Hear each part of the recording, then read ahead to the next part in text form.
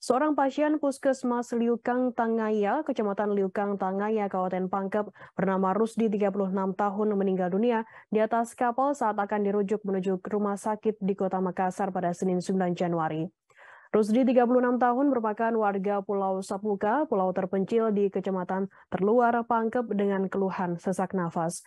Sebelum meninggal dunia, almarhum sempat dirawat di Puskesmas Liukang Tangaya, namun karena keterbatasan tabung oksigen serta tidak adanya dokter, membuat keluarga berinisiatif merujuk korban menuju rumah sakit di Makassar. Informasi selengkapnya akan disampaikan oleh rekan jurnalis kami dari Tribun Timur, ada Nurul Hidayah yang akan melaporkannya. Silakan rekan Nurul. Halo, selamat sore Tribuners, selamat sore uh, Firda. Baik Tribuners, dapat saya sampaikan seorang pasien asal uh, Kecamatan Liukang Tengah Kabupaten Pangkep, Sulawesi Selatan atas nama Rusdi, berusia 36 tahun, meninggal dunia di atas kapal saat hendak dirujuk menuju uh, rumah sakit yang berada di kota Makassar, Tribuners. Rusdi diketahui merupakan uh, warga Pulau Sapuka yang merupakan uh, wilayah paling terpencil dan terluar di Kecamatan Pangkep, Sulawesi Selatan yang harus dirawat akibat keluhan sesak nafas Tribuners. Sebelum meninggal dunia, uh, almarhum sempat dirawat di puskesmas selama beberapa hari. Uh, namun uh, de, karena tidak adanya dokter dan keterbatasan tabung oksigen, maka uh, pihak keluarga berinisiatif untuk membawa Rusdi ke rumah sakit yang lebih besar Tribuners.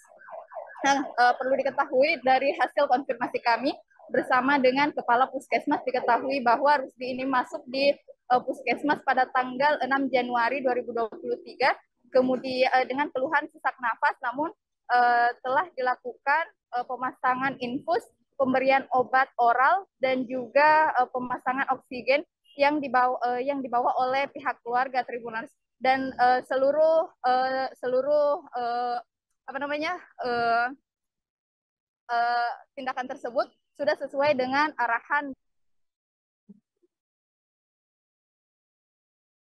membawa seorang pasien lainnya ke rumah sakit yang lebih besar uh, pada tanggal 3 Januari 2023 sebelumnya Tribunars.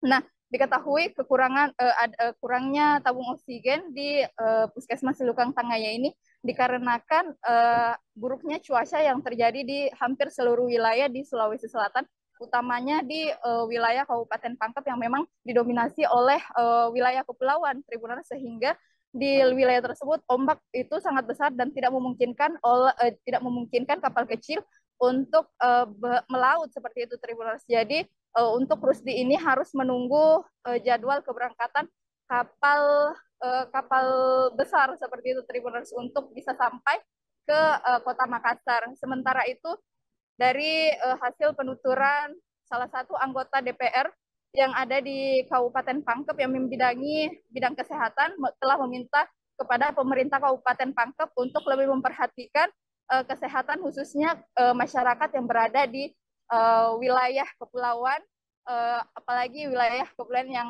cukup terpencil seperti itu Tribunal kembali ke studio. Baik, terima kasih rekan jurnalis dari Tribun Timur atas laporan Anda. Selamat bertugas kembali.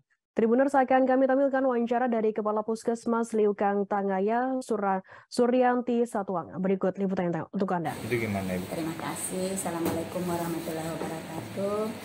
Uh, saya Ibu Haja Suryanti Satuang, uh, Kepala Puskesmas Liukang Tangaya. Dan hari ini saya mendapat berita duka dari uh, salah satu cap kapal uh, transportasi yang sering kami lakukan uh, apa langganan kami untuk melayari ke tempat tugas kami di uh, puskesmas di Kantangaya. Jadi kronologis uh, saya bercerita dulu tentang puskesmas kami. Jadi puskesmas kami itu adalah puskesmas daerah sangat terpencil di Kabupaten Pangkep dengan akses itu perjalanan laut uh, dari Makassar itu kurang lebih 24 sampai 26 jam baru tiba di lokasi. Kemudian kalau kita berangkat dari Macini Baji itu kurang lebih 32 sampai 34 jam. Jadi itu akses memang sudah mulai sangat sulit buat uh, masyarakat di Kabupaten Pangkep. Tapi alhamdulillah selama ini kami tetap memberikan pelayanan yang terbaik untuk masyarakat. Cuman karena kemarin ada kondisi cuaca buruk, mungkin semua sudah bisa melihat uh, BMKG mengeluarkan bahwa cuaca buruk mulai berlaku kapan dan kapan. Ya. Sehingga untuk akses saja petugas-petugas itu ke uh, puskesmas itu sangat sulit. Apalagi namanya uh, kondisi cuaca seperti ini, uh, kami itu stok persediaan memang sangat terbatas. Terima kasih sudah nonton. Jangan lupa like, subscribe, dan share ya. Thank you.